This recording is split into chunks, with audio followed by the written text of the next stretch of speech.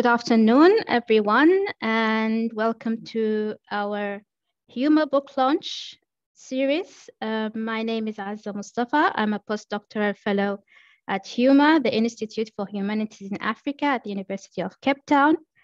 And today we have a book entitled Our Ghosts, uh, Where Once People's uh, Stories on Death and Dying. Um, we have today with us um, the editor of the book, um, which the book is actually a collection of creative work and uh, nonfiction work on uh, the unique experiences of grief. And we are all looking forward to, to listen to the talk. Um, so today we have the editor of the book, uh, Bongani Kona, who is a PhD candidate and a lecturer in the Department of History at the University of Western Cape. His work has appeared in various places, including Chimurenga, uh, Safe House Explorations in Creative Nonfiction, The Daily Assortment of, of Astonishing Things and Other Stories, The Baffler, and the BBC Radio 4. He was awarded the Ruth Fer uh, Ferris Fellowship in 2019 and he's also shortlisted for the Caine Prize for African Writing in 2016. Um, welcome with us, uh, Bongani.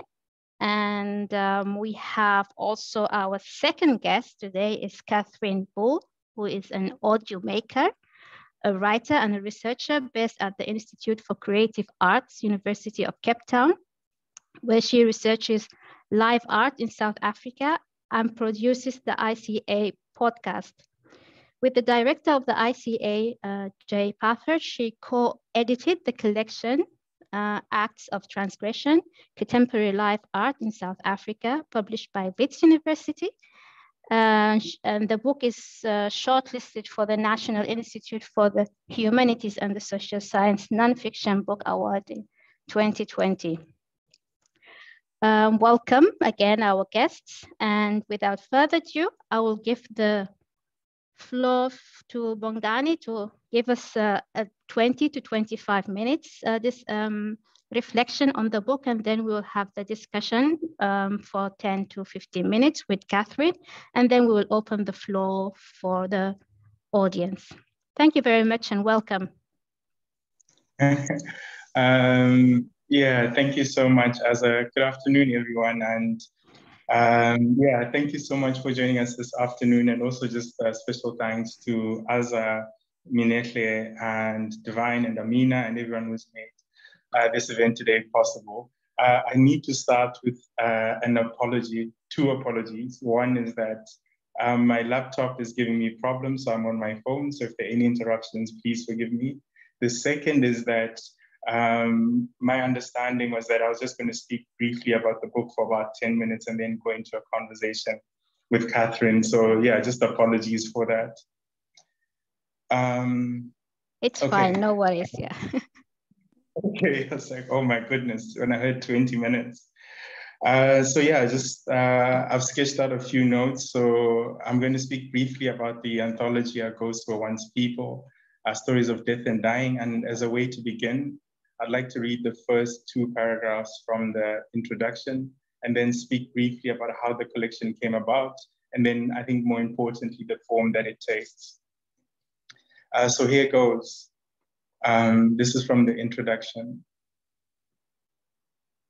When we got the news that my cousin Yvonne's cancer had come back a second time, it didn't cross my mind that she would die. She was only 40 years old, but the cancer had spread all over and her condition deteriorated rapidly. She died in the nighttime, holding her mother's hand. This was weeks after the country had been placed on lockdown alert level five. And because we couldn't travel, my mother and I watched the funeral on Zoom. This, as the saying goes, is how we live now. This has been a time of unremitting grief. People have lost loved ones, homes, jobs, and suffered all kinds of setbacks, large and small. At a time like this, the consolation literature holds out, holds out to us is that we're never alone. During a phone conversation in the early days of South Africa's lockdown with the writer and audio maker, Catherine Boulle, one of the contributors to this book, we discovered that we'd each been turning to Svetlana Alexievich's Chernobyl Prayer, a chronicle of the future, an oral history of the nuclear disaster in the Soviet Union in 1986, to make sense of the times. As we stared out onto the wide, empty streets from our respective homes, Alexievich's words resounded in our ears like a prophecy. we we now find ourselves on a new page of history. The history of disasters has begun. I'll stop there. I think the main point was also just to say that I'm profoundly grateful to be in conversation with uh, with Catherine Boulle because uh, we have been in conversation for a few years now. Now, both as friends and as colleagues and as collaborators. So yeah, thank you so much for agreeing to be part of this, uh, Catherine. And so the project Our Ghosts Were Once People, it's always very difficult to talk about uh, books as if they have like one defining beginning point. And for me, the, what I will say is that the book started taking shape in late 2019. And I think it has its origins in this, um, maybe what I'll call the grim repetition of violence and loss, particularly in our public life. And I'll give you an example of this. So in April this year, a man was burned to death in Diepsloot in Johannesburg. And those of us who've been following that story, it's impossible not to have your mind flash back to that photograph from 2008 of yet another man on his hands and knees, his flesh burning, begging for his life. In 2019, a university student goes to the post office and is never heard from again. In 2013, the body of a 17 year old is found disemboweled at a construction site in Bredasdorp in the Western Cape. I don't even have to mention the names. Most of you will know who I'm talking about. Some of you will even remember where you were when you heard the news. So I guess the book, in a way, attempted to respond to this kind of accumulation of loss, or yeah, this kind of accumulation of loss in our public life. So that's where we began in sort of 2019. And then the pandemic came to our shores in 2020. And so I just want to move on from there just to talk about the form that the book itself takes. Um, I myself um, have always been inspired. I've been inspired by literary journals. I've worked in literary journals. And one of the things I love about literary journals, and let me actually take a step back, my favorite, one of my favorite literary journals is by Chimurenga, Chimurenga issue 11, called uh, Conversations with Poets Who Refuse to Speak. It's a book, it's a journal that attempts to look at silence as a form of protest. And I love how it works together, how the pieces both speak to each other and sometimes contest each other. And so that's that's the that was the starting point in in to say that could this what was what I was actually trying to do, what I was hoping that we would do is that we would produce a literary journal um, that gets sold as a book. But primarily what we're trying to do was to work on a literary journal. And what one of the things that the really good literary journal allow us to do is that they utilize all forms of writing. They utilize poetry, as Aza had already begun saying in the in the introduction, to make use of poetry, to make use of fiction, to make use of creative nonfiction essays. Uh, and in Our Ghosts Were Once People also includes photography. And so this is the way that we might um, look at an issue prismatically. So to take one point, to take one subject and look at it in as many different forms as possible. And one of the editors who uh, has been like an inspiration to me was also, uh, his name is John Freeman, used to be the editor of Granta a few years back, maybe five, six years back, uh, when Ellah Wakatama Allfrey was also the deputy at Granta. Uh, he's since started his own literary publication called Freeman's. And I love this publication and quietly also one of the inspirations for our AGOSO Once People. And something that he said really struck me. He says that, you know, uh, form holds us in different ways. Sometimes it's a close embrace, other times it's like a chaperone stroll. We need those varying degrees of intimacy and engagement to look at the world prismatically. And um, that's one of the things is that I've also contributed a lot to, to books that are published in this country and elsewhere. And one of the things about collections, which I sometimes struggle with, is that there's always a prescription on length. There's a prescription that each piece has to come in at say 3,000 uh, words in length or 4,000 words in length or 5,000 words in length. And I find that as a reader, I need surprise, you know, I need, I need, I need some certain kind of surprise. So I like what happens when you put an essay and you put a poem and you put photographs one after the other, like the kind of conversation that opens up. Um, so this is also something that, like I said, we're trying to do with the with the book. And just to come back now, just to the subject before I hand over to Catherine, um, one of the things that the book does as well, or what it allows us to do, is to look at death not only from um, in different scales as well, different scales and different registers. So I'll give you two examples. So um, when I started talking to the writers in 2019, one of the first writers I approached is Mary Watson, uh, who won the Caine Prize for African Writing in the mid 2000s, and who also used to teach uh, at UCT around about that time. And she's um, she had published, she's, after winning the Caine Prize, she published a collection of short stories called Moss with Kwela. And then a second book was called The Cutting Room, which is a crime novel set in Cape Town. And I remember at the time I used to review books quite a lot for the Cape Times. And I remember at the time that she had said she wrote the book in five weeks because she was grieving for her mother who had, uh, she had watched her mother die from cancer at a hospice. And she worked on this project and it was propelled by grief. So when, when I reached out to Mary Watson, I'd said to her, please, uh, could you just take us as readers into that moment? Just take us into that moment in an essay, just talk to us about that time. And then the pandemic hit. This was in late 2019 when the pandemic came. Um, I think a lot of people, I'm not alone in this, that a lot of us struggled to read and to write. And so we I pushed, the deadlines got pushed back. And in that moment, um, Mary just wrote back to say that she's having a personal crisis and uh, she needs the extra time. It's come at a good time um, Mary Watson's piece would end up becoming the opening essay of the collection. And what happened is that she lives in Ireland now, and at that time nobody could travel. And at that time, my father also, she lost her father to cancer. And this was something she could only see through through a screen, and she writes about that that experience. And I think that was like kind of really profoundly moving but I also just wanting to talk about the differences in scale.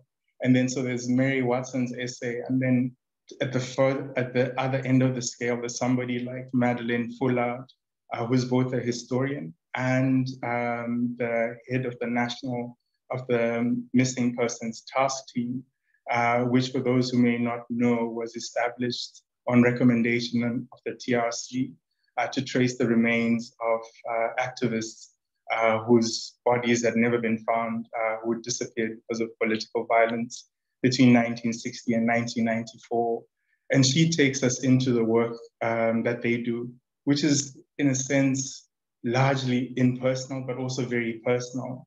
And she's talking about deaths which are not her own, but she's the person that can give clues to families. She, uh, how do I say this? The right word uh, she's the person who's able to give closure to families, and sometimes that closure never comes. And then I think I'll just hold I'll hold on that. So just to say that, uh, so different forms, different scales, and this is what we wanted to do, just to have a conversation, um, a book that looks at this uh, the question of death and dying from various points of view. And then the last thing I'll say is that um, Khanya Mtshali's essay, which is the penultimate essay in the book, looks at the question of afterlife, not necessarily from a religious point of view, but uh, she talks about her friend would ask her to be, in the case of death, that she would manage her social media profiles. And what does this idea of afterlife mean when we have digital selves that, in a way, digital, uh, we all have digital iterations that will outlive us. And so just giving meditations on that um, I feel like I've been a little all over the place, um, but I'm just going to pause here and then just ask Catherine, as always, to rescue me. Not at all. Um, it's always such a joy and a privilege to be in conversation with you, Bongani. So thank you so much.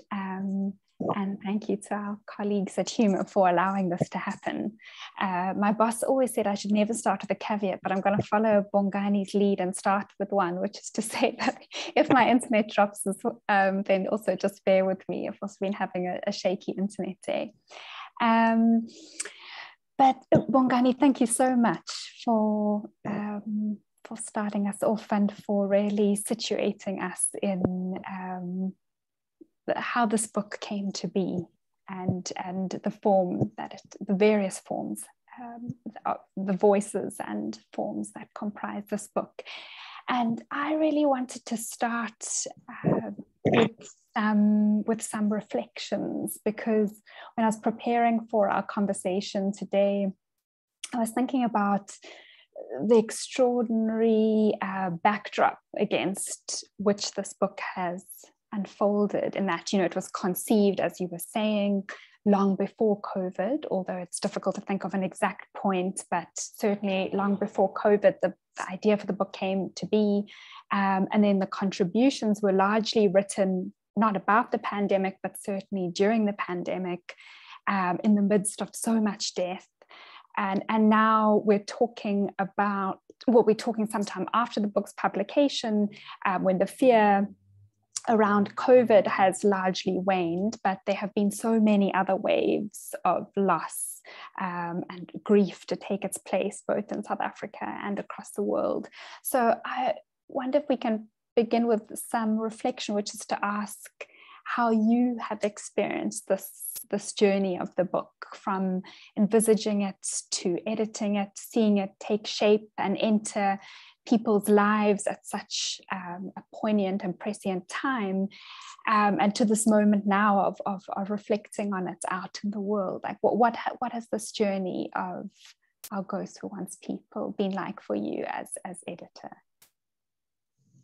Thank you so much for that question, Catherine. And I'll try and answer as honestly as possible. Um, I think it's difficult to use this word, but I'll have to use it. I think for me, the process was quite spiritual in a way because as you you one yeah the pieces were most of the pieces were written during the pandemic and i just felt like because and for anyone this is no secret for anyone who's involved in south african publishing the margins are not so high you're not necessarily going to retire off a piece of writing but there has to be a kind of willingness to say uh, I'm going to do this with you. And so the conversations that uh, I had with each of the people during the process of putting the book together were like, I think it's, I've never had an experience like that working on a project. Just because, in a way, I, I don't know who said this about poetry, that it's a language against which you have no defenses because it just, it just kind of, everything is just, it, it hits straight to the heart. And I think those are the kinds of conversations we were having with people. And even and one of the things that never gets talked about, I guess, in forums like these are the pieces that don't make the book, but inevitably shape what the book is or what the book becomes. And I remember one contributor in particular because I was at the laundry, I was at the laundromat, and I remember just her on the other end of the phone. She's a very dear friend, but the experience was too difficult to write about. And she was apologizing. I said, Naki, you have no need to apologize. And and those things like those kinds of experiences. And just i think for me that was like really really really moving.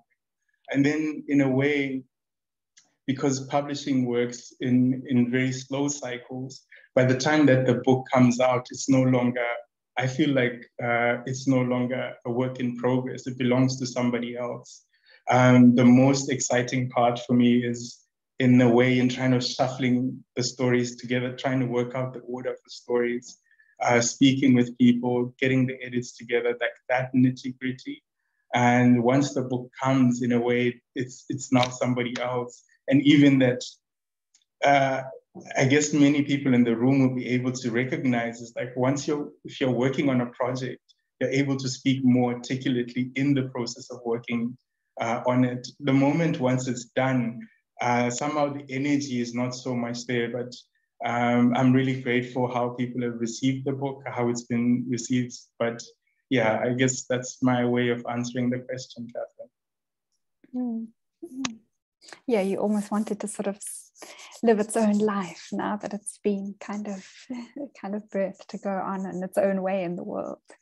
Um, I wonder if we can pick up on something that you mentioned earlier, and it's something I, I, wanted to ask about. You spoke about silence as a form of protest in relation to that um, issue of Chimurenga that means a great deal to you.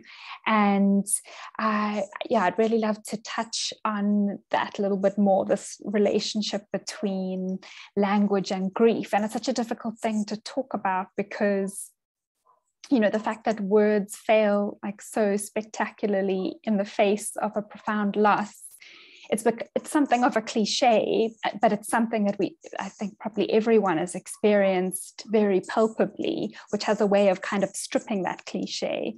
Um, and but then also each of the contributions to the book approach the conundrum of language and the inadequacy of language so uniquely and so powerfully um, and I was thinking very much of Lidudumalingani's essay alongside your own. Um, and I was wondering, yeah, there was that, there's that, that paragraph from Lidudumalingani's essay that it would be wonderful if you could read it so just so we can kind of um, contextualize this, this chat and then we can maybe talk a bit more. Uh, thanks, uh, Catherine.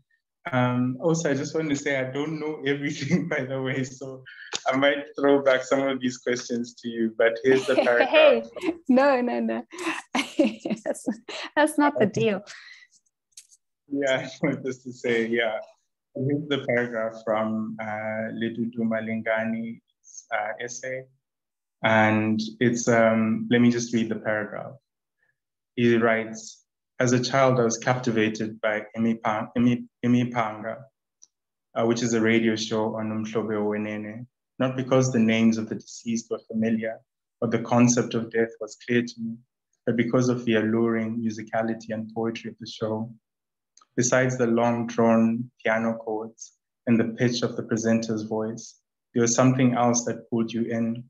It had to do with the way the presenter began his sentences swapping synonyms with every announcement, using euphemism for every harsh word. The words were carefully chosen, selected by how sharp they are or how softly they landed on the ears of the listener. All those who have consoled the grieving know that truth and lies are of secondary importance to the words chosen. There's a science to it, and the radio presenter understood it well. Uh, it's a beautiful piece. And so hmm. just the thing about language, I think we'll have to think through it together. And I think mm. maybe Lidudumalingani's piece offers like a really good jumping off point because also with Tato Monare's um, photo essay, if you think about it as well, because I think one of the limitations of this kind of project, or one of the limitations of projects like this, is that they're in language, they're in English for the most part. And that uh, and one of the things Lidudumalingani does in his essay is to, because sometimes I guess you get a, you don't get a sense from books that we read that there are other languages outside of English that exist in this place. And what does it mean to kind of cut off all of those knowledges or all of those ideas about uh, life and death in all of those other languages? And what Lidudumalingani does is that he brings in that kind of sensibility and also, particularly, just to give some context to people that are listening, Lidudumalingani's essay is situated in a very small village in the Eastern Cape. And he's talking about uh, his mother, who used to listen to this radio show, and just observing her as she listened to this radio show. And already there's like two things. I, I need to pause. So uh, we'll need we'll need to help each other, Catherine, on the question of language but just that's one thing I was mm-hmm. thinking about that he brings other ways of uh, talking about death, other ways of talking about afterlife, other ways of talking about living um, that are outside English.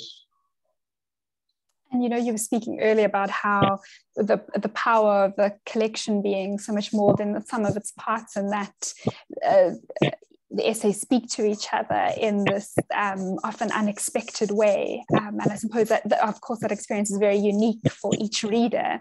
But for me, reading Dudu Malingani's reflection on the power of words, you know, so carefully chosen, and that specificity in um, in grief, which holds so much power, and reading that alongside your own essay in the book, The Descendants, where you recall your grandmother's deliberateness not to give words um, to a painful experience, and that this wordlessness holds kind of as much power um, in your in your reading of it as the radio host's very careful scripting um, in Lidudumalingani's story.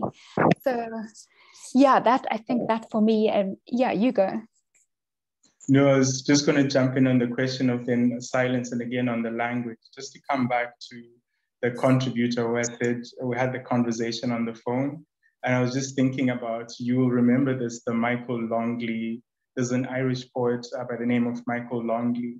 And uh, he talks about how the raw material of experience needs to settle into an imaginative depth, into an imaginative depth before it can be turned into art. That somehow we can't if that time hasn't come yet, it's difficult to write about something if it just hasn't settled into that. Yeah, and this, the experience I was asking her to talk about had, it was too recent. So in a way, like I can understand the silence that comes from that. And then I was talking about, I think there's a second quality of silence which you're trying to point to in, in the other essay. And I think a way to answer that is to speak via Gabeba Baderoon's poetry one of like, and I, geez, I can't speak highly enough of, of her poems, but like there's one poem in particular, and I'm not too sure if it's in A Hundred Silences or in Dream in the Next Body, How Not to Stop. And I'll just give a little bit of context. And you, it, the, point, the poem is written from point of view of a schoolgirl, and she's talking about her father. You see, she's describing her father. And the context for this is that uh, Gabeba Baderoon's parents were forcibly removed from Claremont, and she was born the year after in, I think, in Athlone. And on the way to school or on the way when the father picks them up from school, he drives past this house and he doesn't look at it. And even though he made the front door, I think she writes something like, even though he made the front door with his own hands, every day he drives past, he doesn't look at it, he doesn't speak it and like i find that really really really moving. And um, i guess it's i don't want to use words like trauma or anything because i'm not an expert in, in, in those kinds of things. But definitely as a reader i do know that sometimes what is the word that i'm trying to say? That the people who have lived through the traumatic experience or who've lived through that traumatic experience sometimes are not the ones who write about it. It's the children or the children after who write about that kind of experience. So that silence there is, um, I have no idea. You can come through, Catherine. No, I was thinking that silence has such a strong presence, whether or not it's given words in the moment, that it um, charts its own life through through the descendants. Um, sorry, you were looked like you were about to. It's almost like negative space in, in a poem. Like the power mm. comes from what is written down as much and from as much as that's what's not written down. Mm. Mm.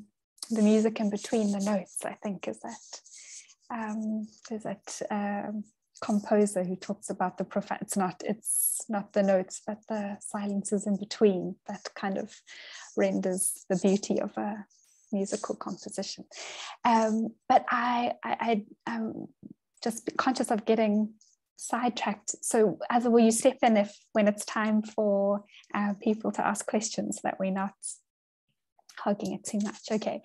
Um, I, I know that if I press press upon you, even with all my strength, to name a favorite, a favorite contribution in the collection. You'll tell me it's like um, choosing a favorite child. So I, I won't, I won't do that. But I, I am very curious about whether there's a particular story um, that in the collection that revealed something maybe new or unexpected for you about coming to terms with death or or the tools that can serve us in, in the long journey of, of processing death?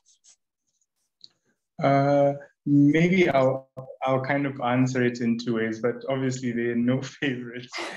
um, but I I really just want to say this thing like uh, of like just I've always loved that thing of creating a flat pan of just having the different stories together as the book is coming along, printing different versions.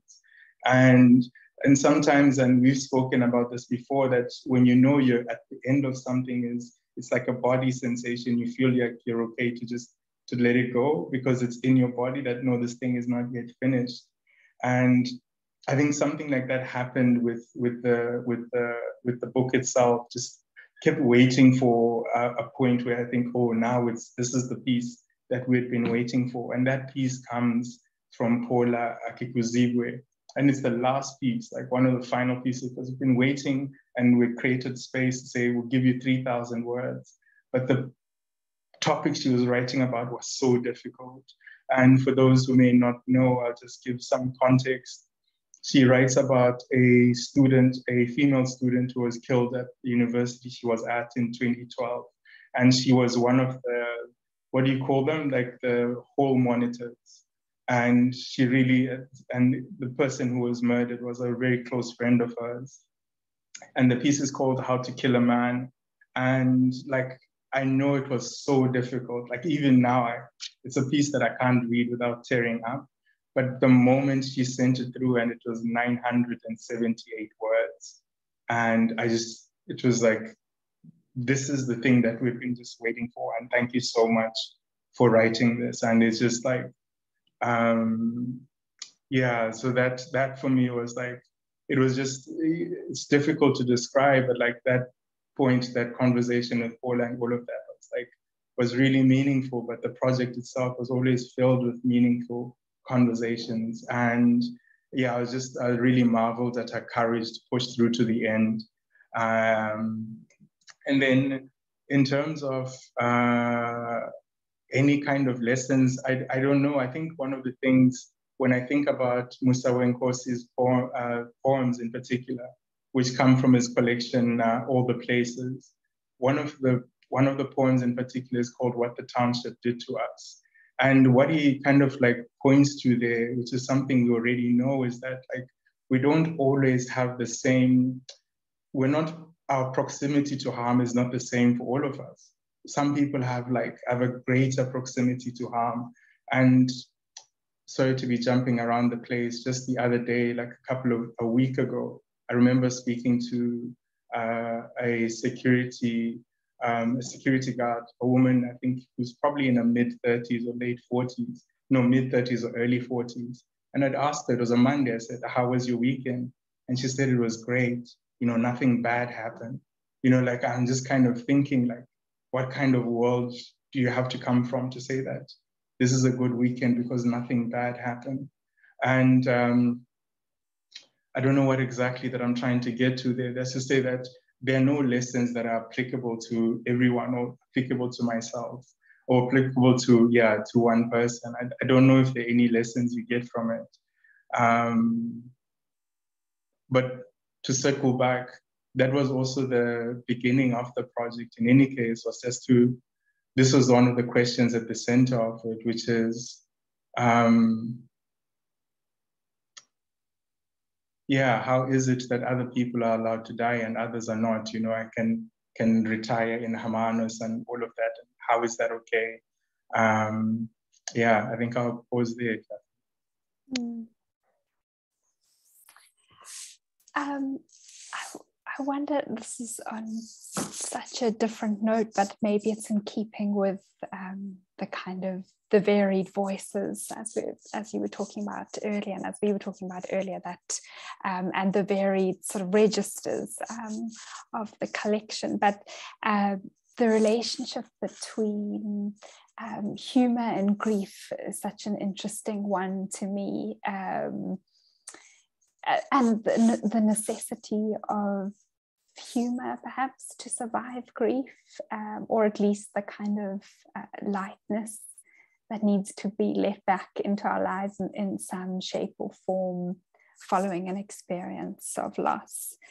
Um, yeah just to enable us to sort of go on being in the world. And i was thinking of Karin Schimke's um, chapter, which is just such an incredibly powerful and devastating essay, but there's some parts in it which are um, unbelievably funny, sort of amidst it all, or despite it all, or because of it all.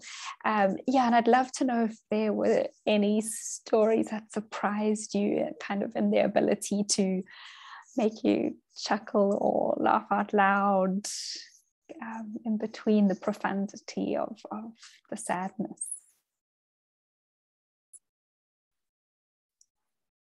Wait, I think you're on, you're on mute. We're missing your gems. You see, humor already is coming through. So. yes, it's bound to happen. I'm glad it was you and not me. yeah, I am mute. Um, I just wanted to say uh, Karin Schimke's piece definitely is one of those. But just on the point of humor, you know, like I grew up with, like many people, with the American sitcom, and I can't stand that genre. Like I, because it's trying to be funny by not speaking of the real things. Like I just, it can never deal with the real things. In the frame, there's, I, I could be wrong. I sorry, this is my two minute rant a day about American sitcom. But the kind of humor that I like is the one that's able to take everything, which is what Karin Schimke does in a piece. It's funny because she's also speaking about something real. She's not afraid to go there. Uh, if that makes sense, that sounds very kind of esoteric. Um, and like that's the kind of writing that I just kind of love that's able to take in both the drama, the sadness, and the humor. Like to hold it all in one frame is extremely difficult to do. And that she's able to do that for me is like really amazing. And you laugh from a very different place. And there's that kind of laughter where we're avoiding about, we're repressing everything. We're going to avoid all the difficult topics, which is so disingenuous. Mm-hmm. So, did you have the experience of when you were editing, like coming across some, um, I guess that that example that we've drawn on, or some other pieces where you were kind of, yeah, I don't know, just sort of taken aback or surprised in this moment of maybe the poignancy of humor, like in a, in a, in a collection about grief. Uh, yeah, so three examples I'll give just off the top of my head. So there's the Karin Schimke, she has a dream about uh, her abusive father. It, it sounds really bad to say this, but she has a dream about, or the abusive father appears in a dream to her ex-husband. And just the way that the dream is described, I think is like absolutely hilarious. And then the second piece is by um, by Anna Hartford, which is a philosophical piece which tries to look at um, the ethics of killing so-called small animals like birds and bugs and rats and, and that kind of thing. I think that piece is, as much as it offers us wisdom, is also really funny. And then a last example I give is Simone Haysom's piece, uh, because that humor is maybe slightly inappropriate, but I really like it uh, because of its inappropriateness and she's writing about heroin addiction and the state's response to it, which is and society's response to it. But there's a part when there's a grandmother who says, uh, Huvat Alice, if I pronounce it correctly. Huvat Alice, yeah. yeah. I thought that line still cracks me up all the time. Yeah. yeah.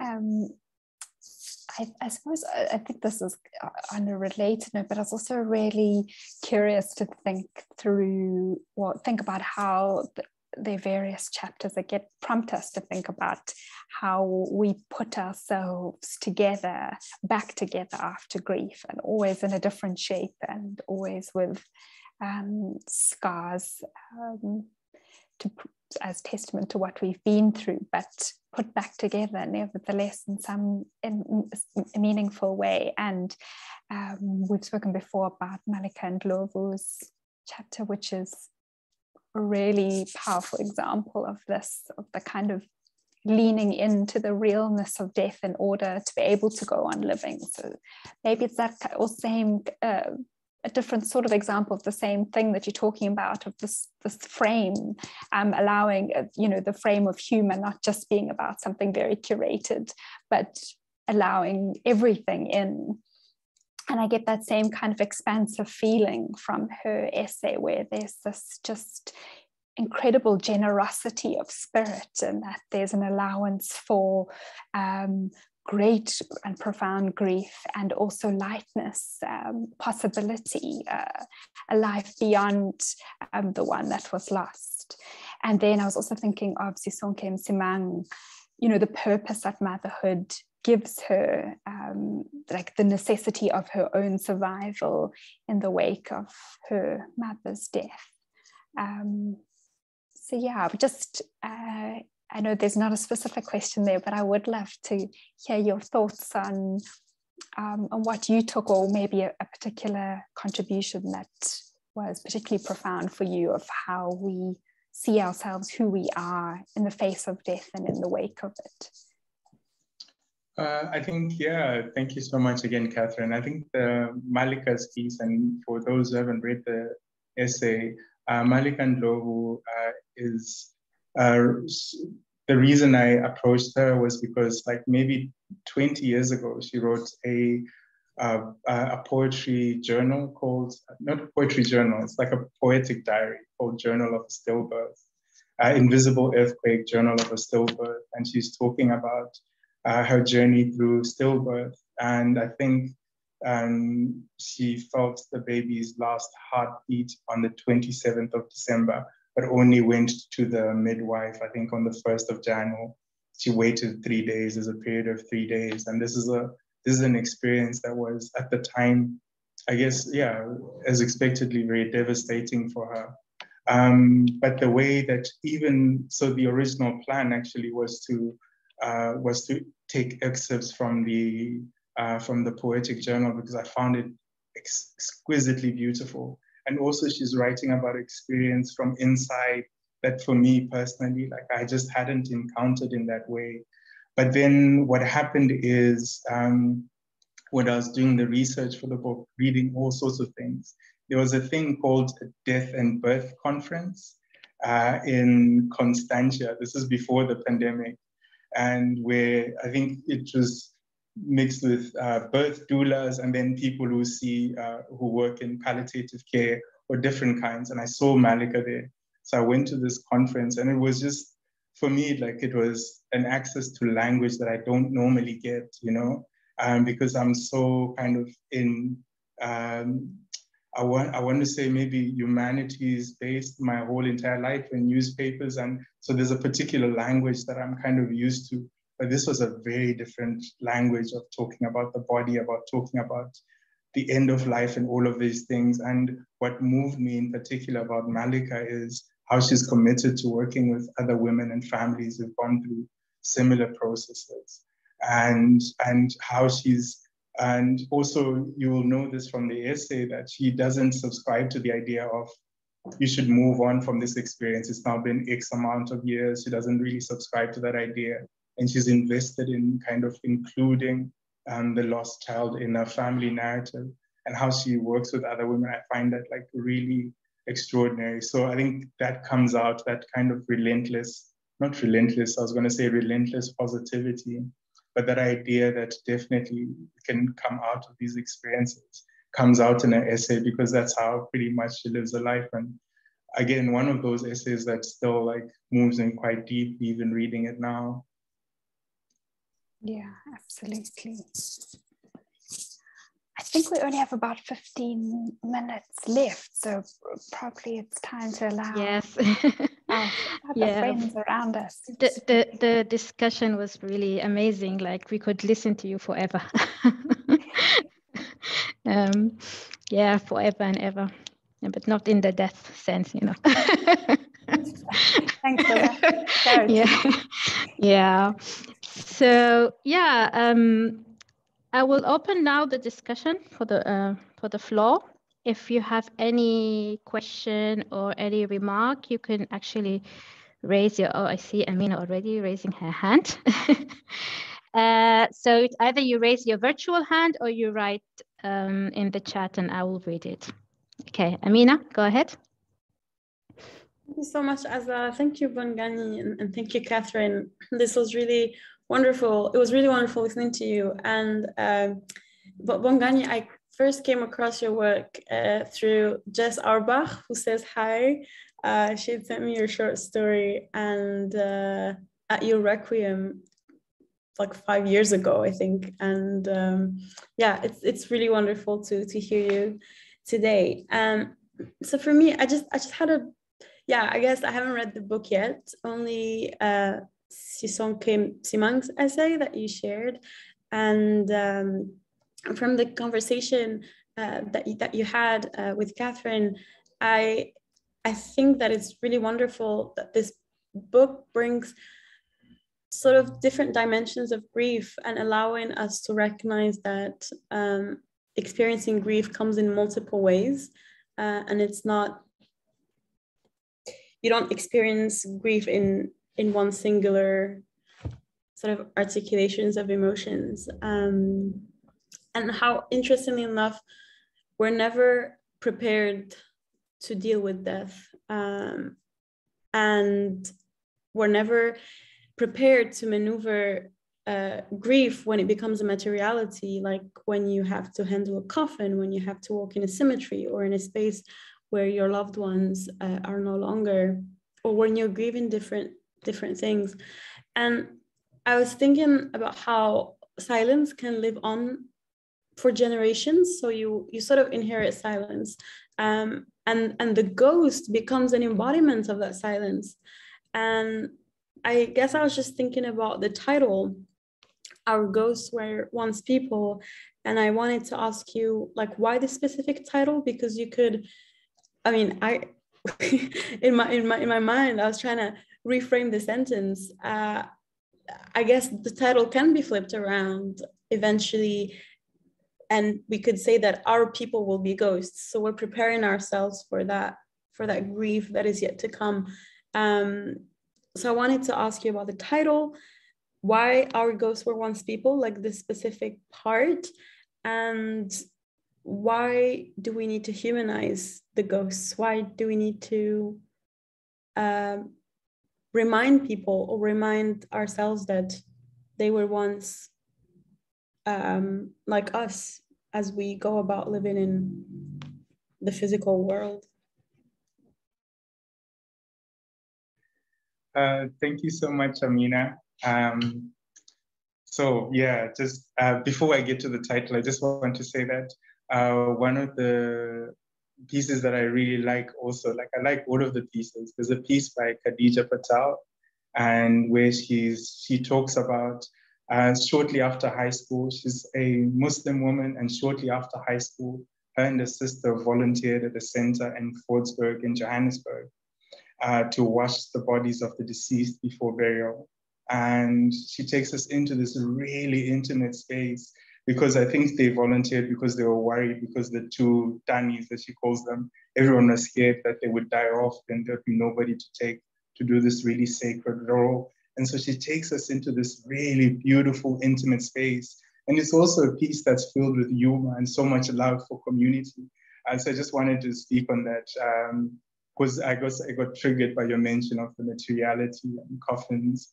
And then the title itself is so the beginning of the project was called The End of the Story because it was meant to be about writers writing about um, the end of life or the end uh, that was meant to be the play of the writers writing on death, so the end of the story. Um, but as it happens, thankfully, the publishers didn't like that. Um, but in the process of reading and researching, one book that became really important uh, was Jesmyn Ward's book, Men We Reaped. Uh, she's an American writer, a novelist, but this is her memoir, Men We Reaped. And it is about the death of five young Black men who were close to her, one of those being her brother. So each chapter is dedicated to one of her friends, and the last chapter is dedicated to her brother. And in that book, she says that, you know, to say that writing this is difficult would be understatement, but my ghosts were once people. And um, yeah, I think I forget what the line was, but yeah, to say that this is difficult would be understatement, but my ghosts were once people, and I cannot forget that. And so that's where the title kind of comes from, from that line. Um, and yeah, so I hope that I've answered your answered your question. It did. Thank you. Yeah. Yeah. Um. Yes. Actually, thank you very much. Um. I don't see anyone, so I will take the opportunity to to ask my question and or yeah, just to think. Uh, I mean, I also didn't read the book, and I really, really love to read it. Um, I mean, I think the experience of grief is is our collective experience. You know, like everyone here, uh, sitting here, of course, experience grief in a different way. Um, yeah. So, what I wanted to to ask is, I mean, we, we talk about yeah the, the the the uniqueness of grief, but there are also like um, there are also ways that we all relate, you know, in one way or another. When we talk about grief, there's there's grief that's collective. We do all together, you know. There is a grief that's subjective. There's a grief that's individual, you know. Like there's different ways of um, um, well practicing know, practicing grief or experiencing grief. Uh, and yeah, I mean, it's also there's different ways of how we transcend, you know, like, I mean, one way is to think of us as ghosts. One way is to think of us as trees. I don't know, one way is to think of us as animals. Um, there's different ways how we transcend and how we locate de death, you know, and how we um, commemorate, commemorate like our uh, the lives of our beloved ones or yeah or even the the ones we just even we didn't even experience of course their death and probably we, they are not as such the beloved ones but they definitely represent something into our lives. I mean if you talk about the activists you know the activists died i mean it's it's about probably the um, the death of hope. You know, activists are always working at in, uh, towards a particular hope. You know, I'm just having in my mind uh, the people who are shot now in Sudan, like the, the youth who are getting shot because of um, you know because of the revolution and they're trying to um, bring change. You know, and of course we are not related to them, you know, directly, but we are related to the cause. You know, so we we grieve, you know, when collectively grieve when when when things uh, like this occur and happen you know. So i would like to know if just sorry i'm, I'm just blabbering but i'd like to know if these things are reflected in a way in the book and also yeah just to discuss about these collective experiences of grieving and how we transcend differently yeah. Thank you well thank you so much and um, I don't know if I'll be able to do justice to your question, though, to be honest. But I was going to say that I think the book itself, in the many different voices, in a way, kind of gives um, uh, is an example of the kind of collective uh, ways of seeing death, experiencing grief. But also, like I, I always think that although the project has a final cover, I don't think it's it's in a way. Uh, how do I say this? Ooh, the project itself could have gone on and on and on. And I think it, it deserves to. The idea is that, you know, I need to take a step back and I'm going to have to try and say this as, because I see uh, time is running out. Like, I just want to try and say it as well as I can. I remember, like, um, many years ago, like when I used to work in advertising, I'm coming around to the thing, promise.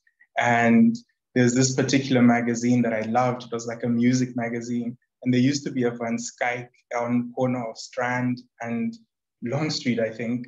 Uh, but there's now a KFC there or McDonald's. But there used to be a Van Schaik and they'd have two issues.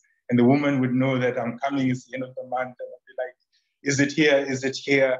Uh, before the magazine was discontinued. And I just, I love the feeling of reading about all of this music stuff. And I just like, I love that sensation of, of reading stuff that related to me. And like, I've always had that feeling with magazines, even with journals. Like, I was trying to play it cool earlier, but I, like, I totally love that stuff. Like, I get so excited, even when I'm reading a issue of Freeman's on Arrival or an issue on, on Home. And just like, I'm like amazed that this stuff is happening.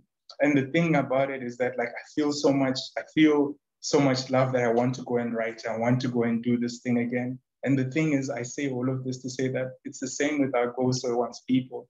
The idea is not so much that this is now a full stop. The idea is that you also feel you get, because it's like making a mixtape for somebody that you love, and then you just send it out into the world, and you get the feel that you listen to this, that it might give you some, it might give you what you need for this particular moment. But the idea is that you go forward and you also do something else that you feel like I'm going to give this other thing. I don't know if that makes sense, but it was just like in that sense that uh, out of love, we're just going to put this out into the world and in the hope that it helps somebody for a time, not forever.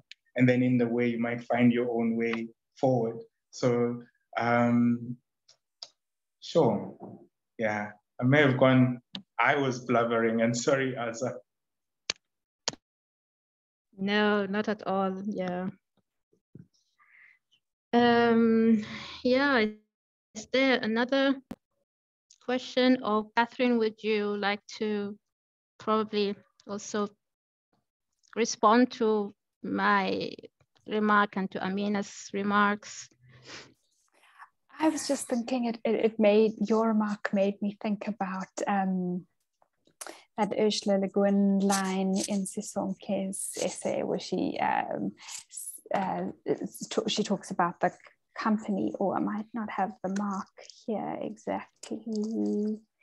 Um, anyway, she well, she talks about grief being a burden, quoting Le Guin, saying grief is a burden um, that you bear alone, that there's no company in grief. But actually, after quoting that line, Sonken Msimang's chapter kind of undercuts that sentiment in a way or uh, and and i think the whole book could be seen as working against or maybe offering some kind of solace in the face of the solitude um, of grief.